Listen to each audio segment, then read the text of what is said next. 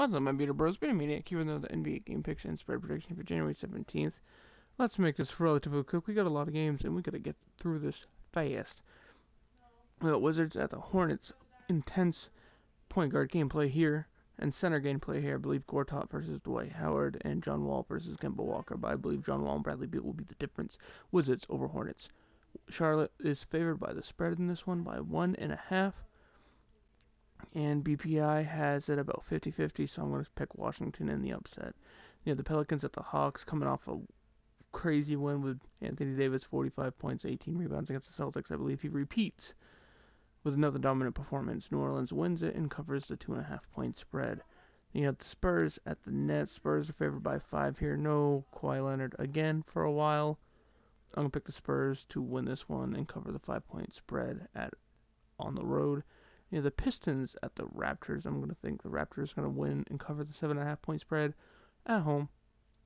Then you have the Warriors at the Bulls.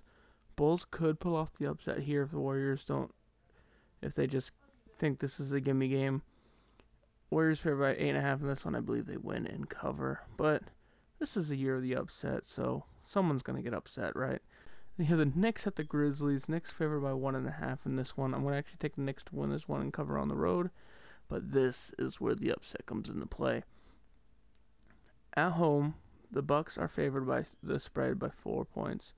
They have a 65% chance to win by BPI odds, and I'm going to pick them to get upset by the Miami Heat. Yes, the Miami Heat are going to upset the Milwaukee Bucks. And you have the Lakers at the Thunder. Thunder favored by 9.5 in this one on ESPN at 8 o'clock Eastern, 5 p.m. Pacific time. I think the Thunder win this one and cover the 9.5 point spread. Should be a good game. You know, the Jazz at the Kings. Jazz favored by four in this one. Should be a close one if I check a G- BPI in this one. It gives the Jazz a 63.6% chance to win. I'm going to pick the Jazz to win and cover. And you have the Nuggets at the Clippers. Clippers favored by 3.5 in this one. I'm going to take them to win and cover. It comes on ESPN 10.30 p.m. Eastern, 7.30 p.m. Pacific. I'll see you guys tomorrow. Peace.